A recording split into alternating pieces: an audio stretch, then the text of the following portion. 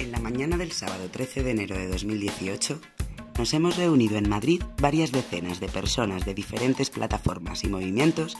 convocados por la Marea Básica contra el Paro y la Precariedad para preparar la marcha que se va a llevar a cabo entre los días 10 y 24 del próximo mes de marzo.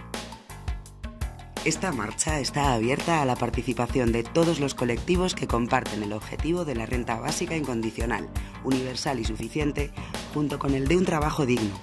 vivienda efectiva para todas, educación y sanidad públicas y de calidad y mantenimiento de un sistema público de pensiones. La Asamblea ha contado con la participación de más de 50 organizaciones que se han comprometido a apoyar de manera activa la marcha de marzo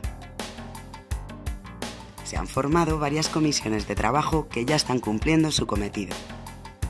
Queremos que esta marcha sea un punto de inflexión para revertir la actual tendencia y volver a ocupar de nuevo calles y plazas. Es el único camino para pararles los pies a los que nos quieren tener de rodillas.